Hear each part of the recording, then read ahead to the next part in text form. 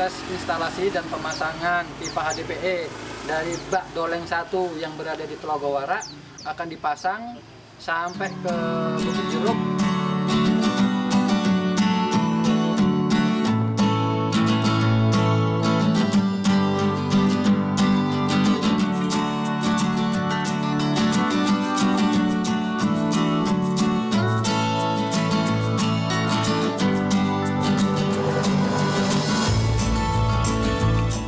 Sejak hampir tiga setengah tahun, pembangunan wakaf sarana air bersih di Gunung Kidul, tepatnya di Desa Giripurwo, yang memanfaatkan aliran sungai di bawah Gua Pego, kini masyarakat Giripurwo, khususnya masyarakat Dusun Telogowarak, Dusun Jelumbang, dan Dusun Kacangan telah merasakan manfaat yang nyata.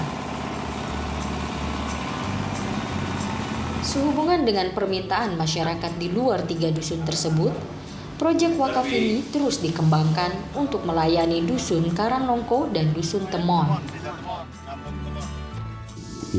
Assalamualaikum warahmatullahi wabarakatuh.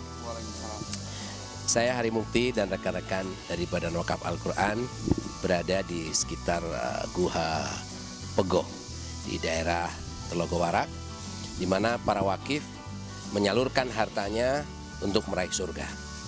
Di belakang saya ada banyak alat dan ini Mas Rohim. Tolong jelaskan ini apa nih Mas Rohim ini?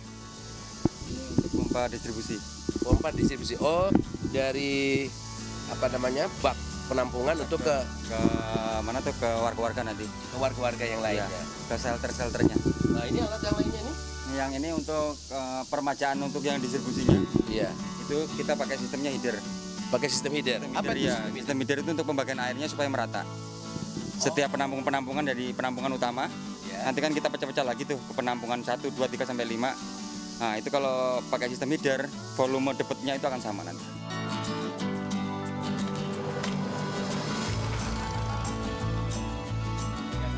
Badan Wakaf Al-Quran dengan program Water Action for People merealisasikan proyek wakaf sarana air bersih Gunung Kidul 2 ini dengan membangun bak penampungan di Bukit Jeruk, pipanisasi, serta pemasangan tiga pompa transfer.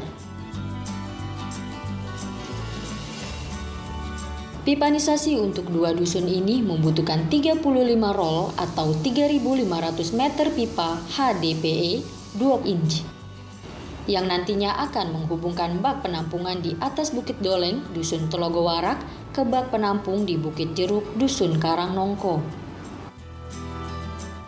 Dan kemudian dari bak penampungan ini akan disalurkan ke 5 water shop untuk Dusun Karangnongko dan 4 water shop untuk Dusun Temon. Ini proses pemasangan pipa utama dari Bukit Doleng 1 menuju ke Dusun Karangnongko, tepatnya di Bukit Jeruk. Ini telah hadir bersama saya nih Pak Muhammad. Kira-kira berapa roll yang sudah dipasang Pak? Eh, sam- dari kemarin sampai sekarang pagi ini itu sudah eh, 19 roll. Berarti 1,9 kilo ya. Iya, iya.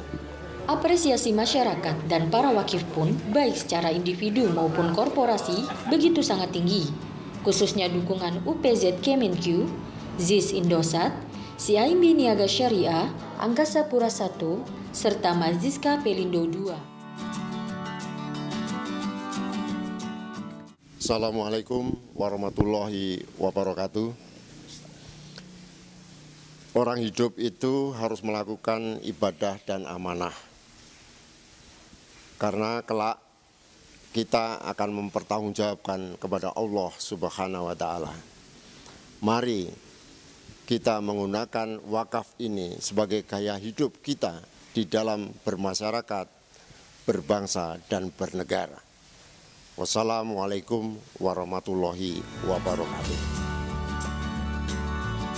Semoga dengan dukungan para wakif dalam proyek ini, membuat stigma Gunung Kidul yang kekurangan air akan terhapus.